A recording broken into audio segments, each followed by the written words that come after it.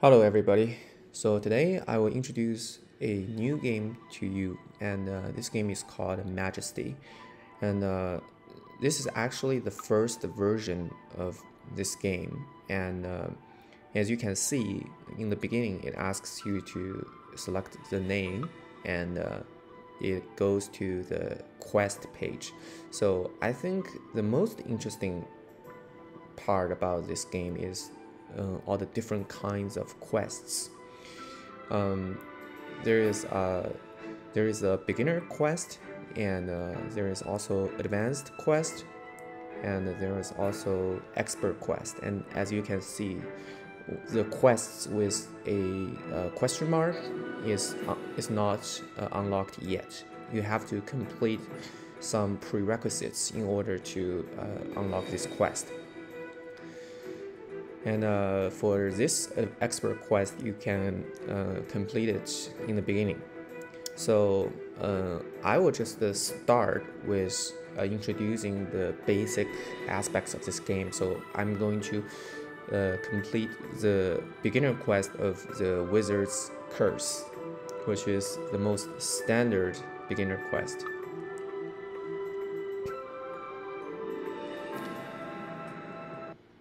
Okay, I humbly beg for, humbly your, beg for, for your forgiveness of this rude intrusion, but there's an angry wizard. Okay, with all the blah blah blah. So basically, the angry wizard is is very um, is trying to destroy your kingdom, and you have um, two different ways to get rid of the curse because a hooligan in your kingdom has stolen the wizard's uh, tools. So the wizard is very mad right now. And method one to complete the quest is to arrest the hooligan who stole the book of spells, return it to the wizard, and then perform whatever the wizard deems sufficient good deeds. And method two is destroy the angry wizard. And uh, plus, your heroes are cursed, so they won't act like their regular selves.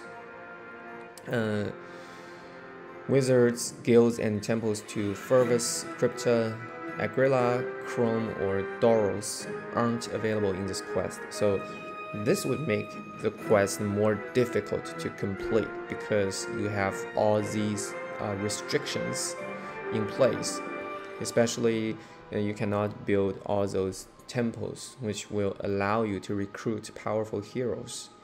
Uh, in my opinion, I think um, for beginners, we'll just go with method one because uh, if you want to kill the angry wizard, it's rather hard. So let's start the quest. So um, in order to guide your kingdom to prosperity and shed two wizard's curse, you have two options. Either find the idiot hooligan who stole the wizard's book and then perform what the wizard did, or confront the wizard and destroy him. Send heroes to arrest all of the realm's hooligans so they can be searched and detained at the palace. So basically, you have to um, recruit heroes because those heroes will help you to uh, reach your goal.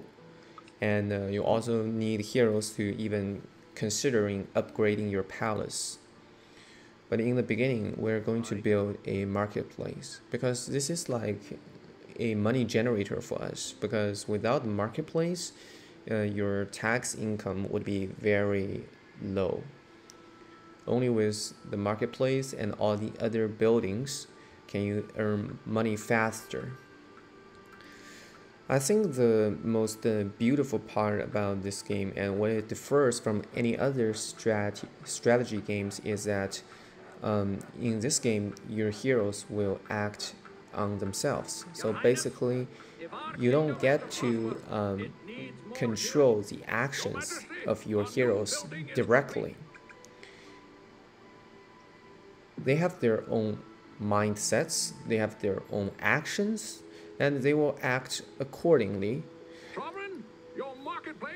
But on the other side, you could use some methods to influence their behaviors or actions. So this is something worth noting because you're gonna act as the king of this kingdom. And uh, basically, basically, as a king, you have to decide where to put buildings and uh, how to influence your heroes to act uh, according to your wishes. For example, we have recruited one rogue, and you can see that only the central only the central part of this map is uh, visible and all the other parts are invisible so you need to have your heroes explore the map but they're not going to explore the map for you voluntarily. Of course you have to put in some kind of incentive for them. So if we just double click on an invisible part of the map and you and they will see a reward explorer flag and you can place uh, maybe 200 or 300 dollars. And then you will just wait for your heroes to uh, come to this point in the map because once they come to this point they will get the 300 dollars incentive. Okay so there is already one rogue going for it. And uh, also we're going to build a uh, build a trading post. Because this will allow you to have um, extra income.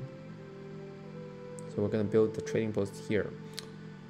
Actually um, let's build it like somewhere else because I, I I think like building it far away and uh, beside a monster is too dangerous you see this uh, rogue is actually fleeing in terror because there is a monster standing right beside this ruined keep and this monster is a really powerful one. It's called Daemon Wood. So it could easily kill your rogue in just the one hit. So we're gonna keep upgrading our marketplace in order to make more money. And then we're gonna re recruit a warrior. Of course, we're gonna keep recruiting rogues. So in the rogues guild, you can activate the function of extort Extort basically allows you to uh, collect taxes immediately, but you have to give a cut of the taxes to the uh, to the rogue's guild. So basically, it allows you to obtain your taxes immediately if you're that urgent in cash. Um, but you have to give like 40 or 50% to the rogue's guild. So we're going to build a blacksmith. So I think for the extort function, only use it when um, you know when it's absolutely necessary, like when you're very short of cash.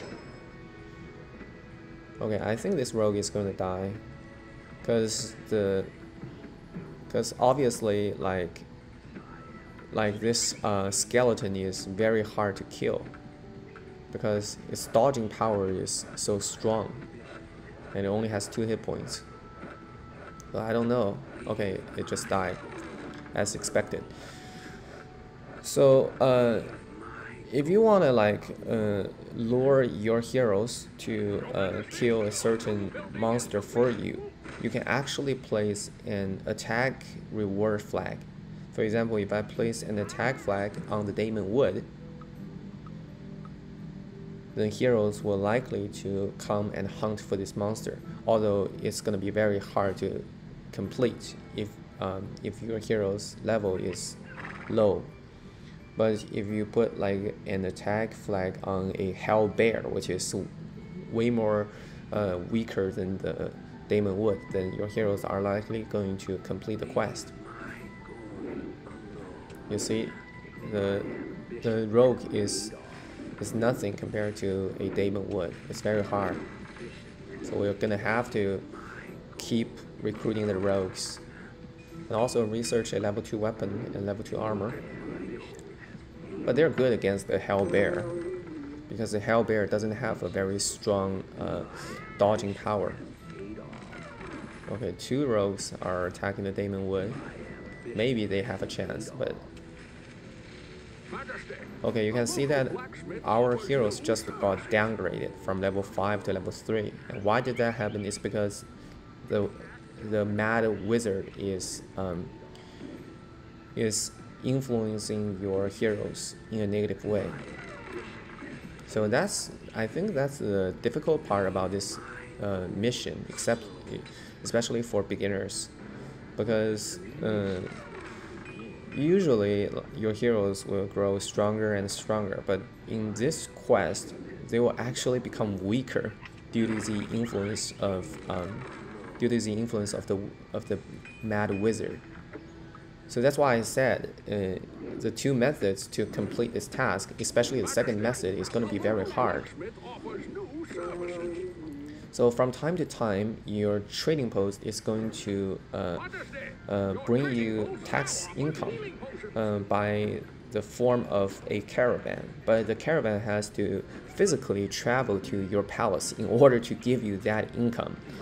So as you can see, the monsters are trying to destroy the caravan.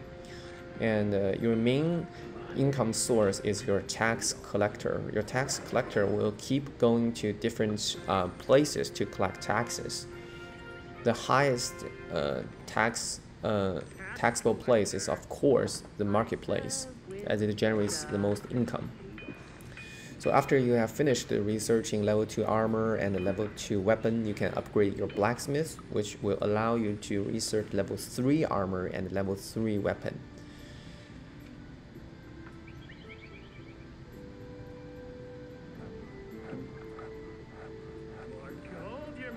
So uh, right now we're going to build a inn. A inn is like a how do I say how do I call it? It's like a small marketplace because your heroes are going to come to the inn and uh, spend money, and then you can make money. So those money are going to come back to your kingdom as tax.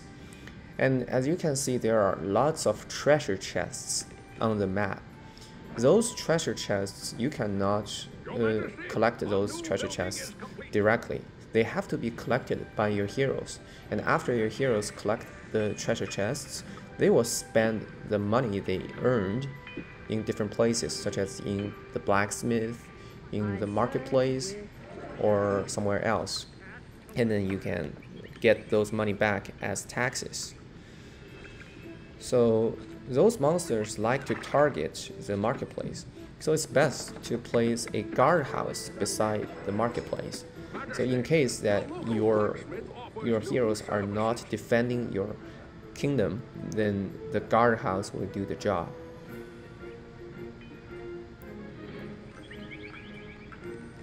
So let's research a teleportation amulets. And these peasants are your main uh, builders. Of course, you can build you, you can build gnome hovel because with gnome hovel, you can recruit gnomes. But I don't think it's necessary to build that in this quest. Gnomes are faster builders than the peasants, and they are also considered heroes. But uh, something worth noting is that the gnomes, the gnomes do not count toward uh, the number of heroes required to upgrade your palace. In order to upgrade your palace to level 2, you need 4 heroes other than gnomes. And in order to upgrade your palace to level 3, I think you need 16 heroes, I think. 12 or 16, I'm not sure. Let's see. Okay, I guess we'll, we'll, we'll get, we can only find out if we upgrade our palace to level 2. But I, but I don't think it's necessary to upgrade your palace to level 2 in this case. Okay, let's just uh, let's just do that anyways to see uh, how many heroes you need to upgrade your palace level 3. Okay, you can see that there is a rat man. The rat man steals money from your marketplace. So you have to watch out that and uh, it only has only has you only had two gold after the rat man finished his uh, theft.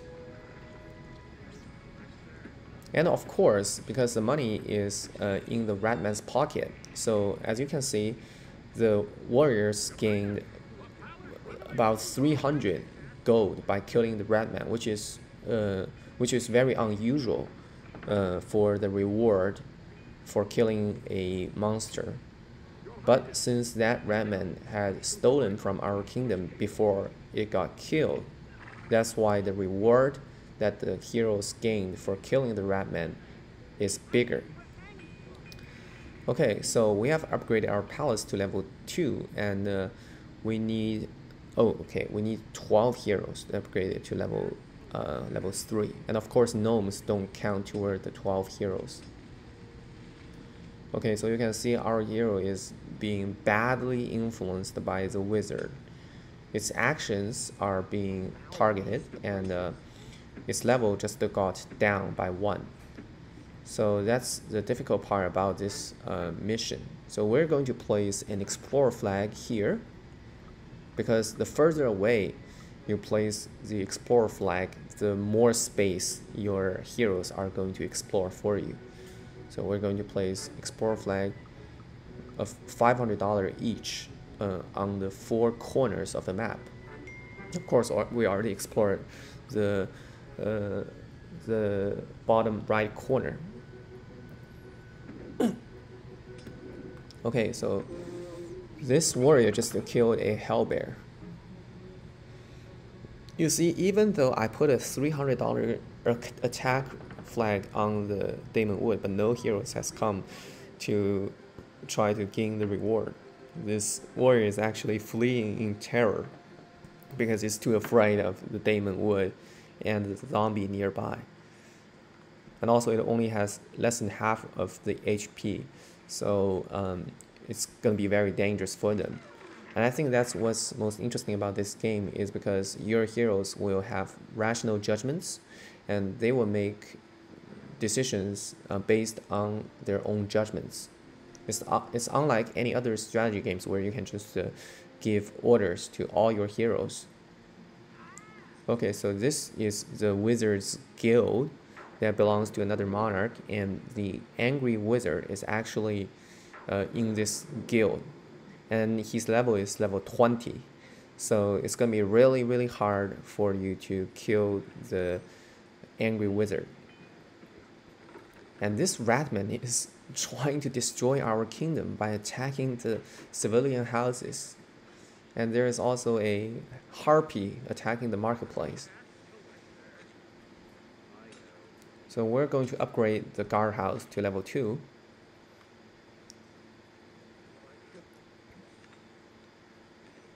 maybe we can try to kill the wizard, you know. Okay, so our heroes are arresting the hooligans. Okay, there is a ruined altar. You have to destroy that. So basically, you place an attack flag here. Okay, let's make it 500. Different heroes have different uh, mentalities. So rogues are more likely to be lured by a reward flag for a less amount. But warriors, they only go for the reward flags if the amount satisfies them. So that's the difference between um, rogues and warriors, and also some other heroes. Some heroes, they will not be uh, lured by your reward flag unless the amount is, mm, is very high. I think rogues in this case uh, are the most easy group of heroes that could be attracted by your reward flags. So even if you just offer 100 or 200, they will go for it eventually. Because they're rogues after all, they like to commit thefts. So 100 or 200, I think it's gonna be fine for them just to test it out.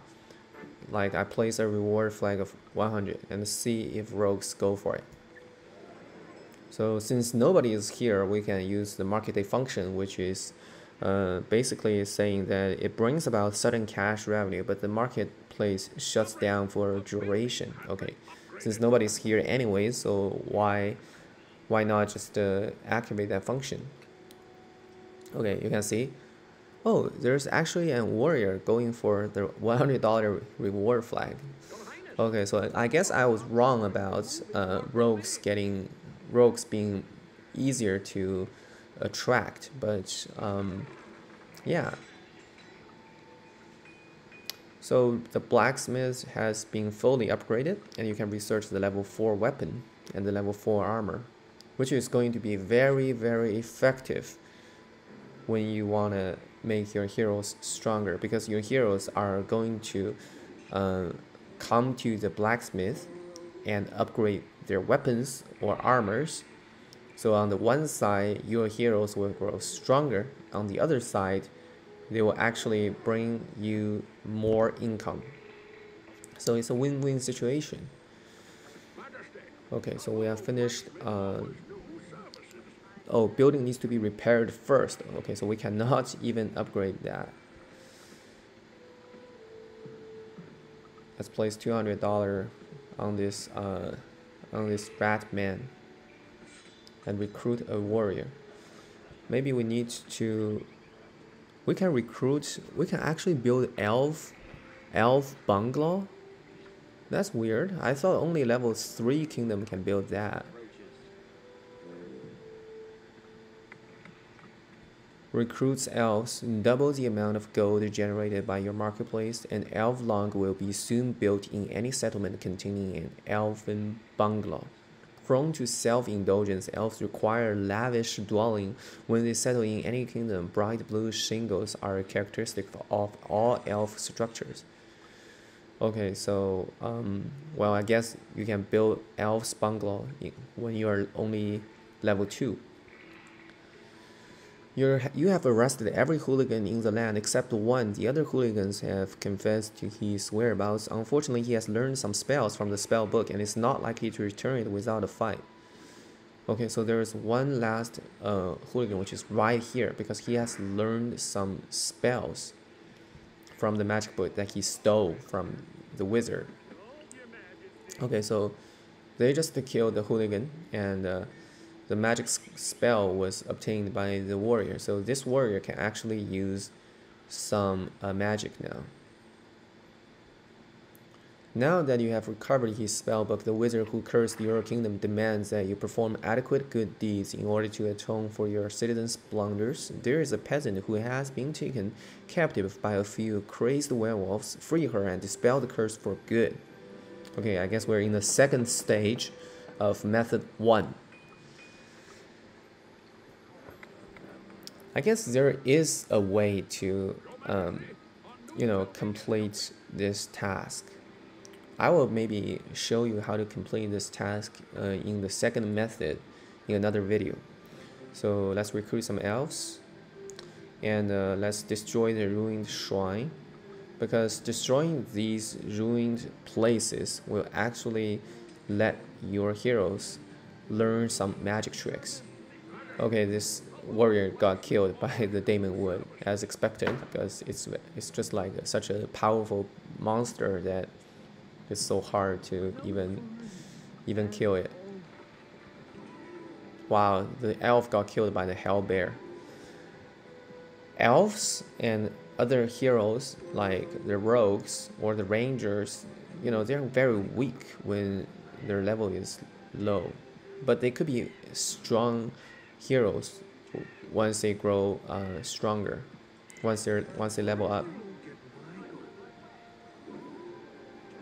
Okay, got killed again.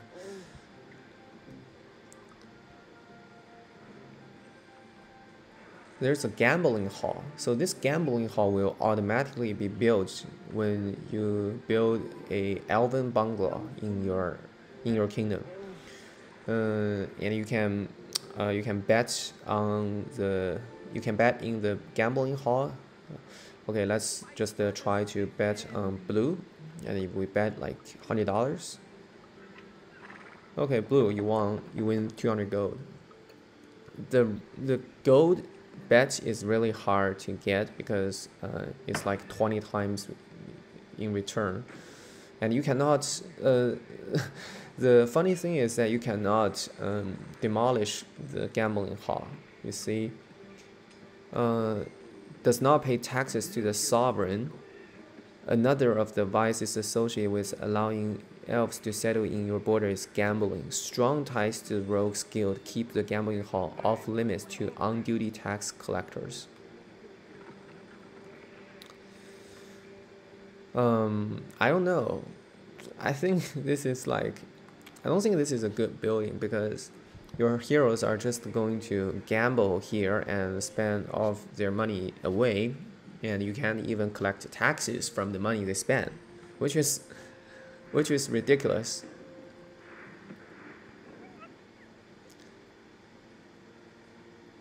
Now that you have recovered his spellbook, the wizard who cursed your kingdom demands that you perform adequate good deeds. Okay, same as usual.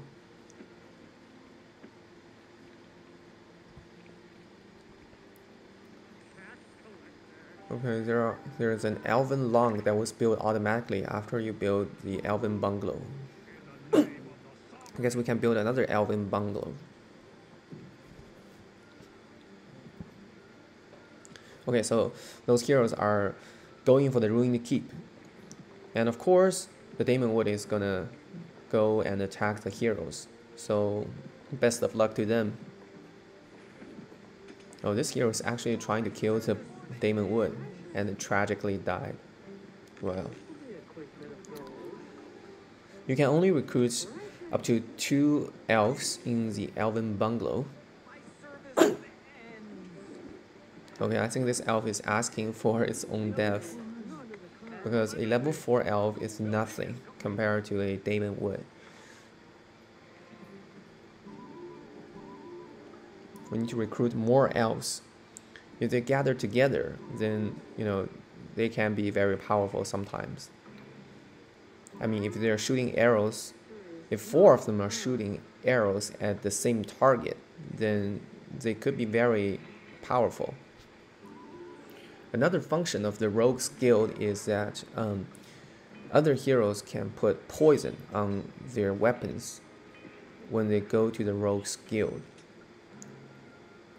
they can put poison on their weapons and uh, it could be very useful when they do that because they can poison their uh, targets when they attack them. So there are two gambling halls and luckily none of our heroes are gambling.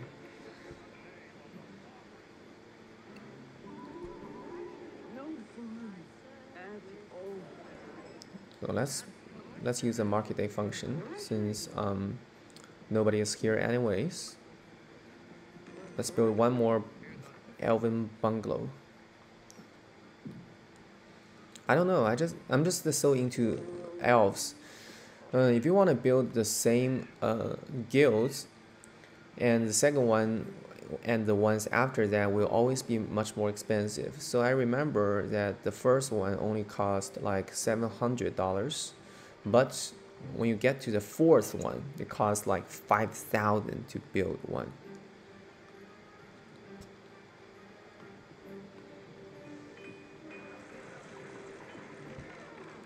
Okay, so let's recruit another hero because the warrior just died.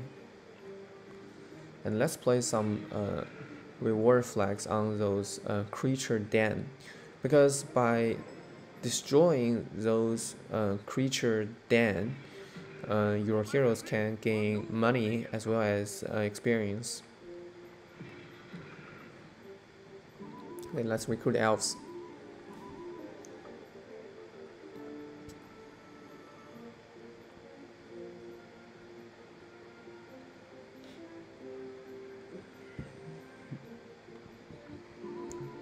Okay, let's recruit one more.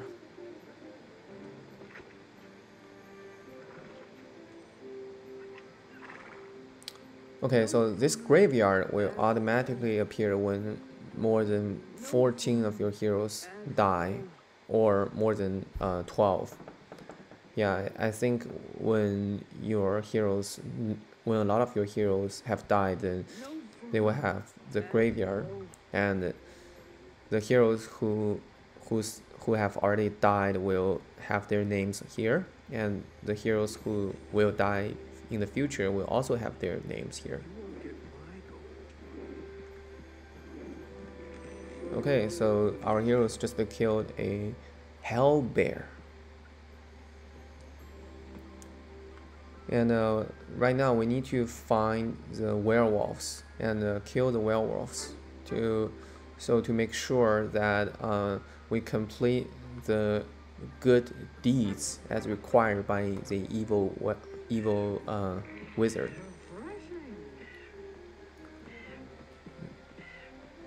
So basically that wizard is uh, threatening to destroy our kingdom if we don't uh, follow his orders.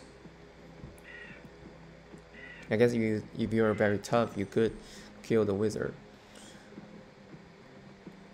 as I said, I will do another video to show you how to kill the wizard. Okay, nobody's gambling. If my hero start to gamble, then okay, he just gambled. I'll just destroy the gambling house. Because it's, it's of no use to me. Okay, the rogues are, are attacking the gambling house. So let us find the the the werewolves who have taken a civilian into custody and then complete this quest. Has any of our elves died? Okay, two elves died. Three elves died actually. Yeah, I think level 5 elf can kill a giant rat without any problem. Shouldn't be a, and shouldn't be of any difficulty to him. Let's place an attack flag here on the creature den. And you know, just to gain some uh, EXP for our heroes. In, in other uh, quests where you can actually, uh, you know, build some uh, temples you can actually use these uh, spells to help your heroes. For example, you can use the cast healing spell. This will allow your hero to uh, regain HP. So this spell is very powerful one when you want to uh, preserve one of your heroes. For example, if your hero has already leveled up to like level 10 or level 11, and you don't want it to die when it's attacking like a very dangerous monster, then you use this cast healing to prevent it from dying. Oh my god, it just died again. Because a level 6 elf is nothing compared to a Demon Wood. I think this Demon Wood can only be killed if um, 5 or 6 heroes gather together and attack it at the same time. Okay, so let's put an attack flag on the werewolf. You have to kill these werewolves in order to complete the quest. Okay, I cannot put any attack flags because it's moving so so quickly. Okay, finally I got it. And let's also put an explorer flag here.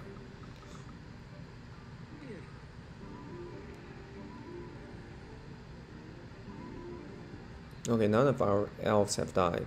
That's a good thing. But our warriors have died in mass. Let's research the veteran guards. So after you research the veteran guards, your city guards will be replaced with veteran guards, which will, which will have higher HP and uh, uh, a stronger attacking power. So this caravan is carrying $304 worth of gold. So is any hero coming to hunt down these werewolves? this elf is too scared of death because it's only level 1. So after some time you can you can see that your kingdom is actually very rich now. You actually have like sixteen thousand dollar worth of gold Okay, a gambling hall was built again, so whatever. It only takes money away from your hero. Let's upgrade it to level 3, just to see the gist of it, you know. Usually you can build some new uh, new temples when you upgrade it to level 3. Because I don't think that in this quest you're not allowed to build any temples. You're only not allowed to build uh, four specific temples. So I think you can still build the temples that are eligible in level 3 okay so you can build a temple to Helia and a temple to Lunord um, let's build this temple to Lunord because the heroes that you recruit from Temple to Lunar uh, could move very fast and they will actually uh, act as guards to protect your kingdom. So all the other heroes, they are only worried about their own well-being. They're only worried that uh, how much money they can earn or how much EXP they can earn. But uh, the, the heroes you recruit from the temple to Lunord will actually allow you. Oh, we're already victorious. So basically, our heroes have killed those werewolves. So we already won the game. and after you win the game you can um, continue to play or you can go to the main menu uh, basically if you continue to play then um, the game will just uh, continue but there won't be any new missions so we go to the main menu and uh, I will show you that uh, there are other beginner quests and uh, um,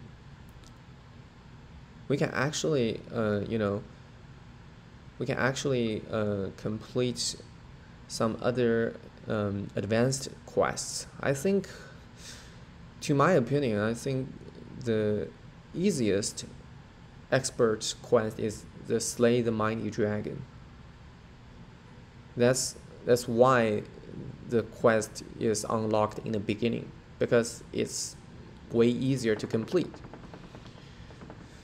Uh, the, this one is pretty hard. The Brash Nard's Ultimate Sphere of Power. This, this one is very hard.